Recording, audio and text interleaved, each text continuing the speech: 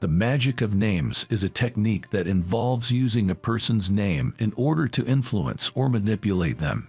The theory behind this technique is that a person's name is closely tied to their sense of self and identity, and hearing their name repeatedly can increase their self-esteem and make them more receptive to suggestion.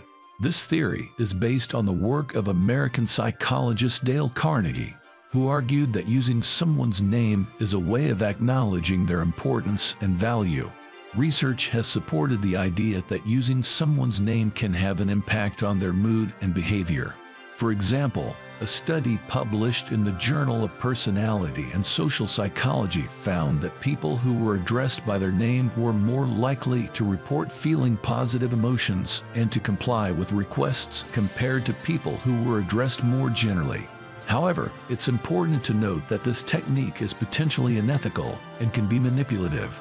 Using someone's name to try and influence them without their knowledge or consent is not a respectful or healthy way to communicate. It's important to be aware of the potential power dynamics at play when using someone's name and to use it in a way that is respectful and consensual. In addition to being potentially manipulative, using someone's name excessively can also be annoying or come across as insincere.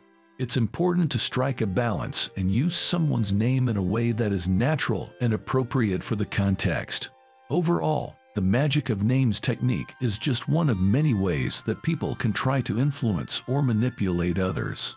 While it may have some potential benefits in certain contexts, it's important to be mindful of the potential risks and to use it ethically and responsibly. In general, it's more effective to communicate openly and honestly listen actively to others, and respect their boundaries and autonomy. Using someone's name can be a powerful way to establish rapport and build trust, but it's important to use it in a way that is respectful and consensual. Here are a few tips for using the magic of names technique ethically. 1. Use it sparingly. Don't overuse someone's name or use it excessively. This can come across as insincere or annoying. 2. Be mindful of power dynamics. Be aware of the potential power dynamics at play when using someone's name.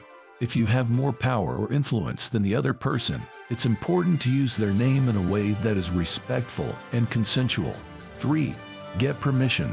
If you're not sure if it's okay to use someone's name, ask for their permission. This shows respect and ensures that you're not crossing any boundaries. 4. Use it naturally. Don't force the use of someone's name into the conversation if it feels unnatural. It's important to use it in a way that feels natural and appropriate for the context. Overall, using someone's name can be a useful tool for building rapport and establishing trust, but it's important to use it ethically and responsibly. It's always a good idea to communicate openly and honestly, listen actively to others, and respect their boundaries and autonomy.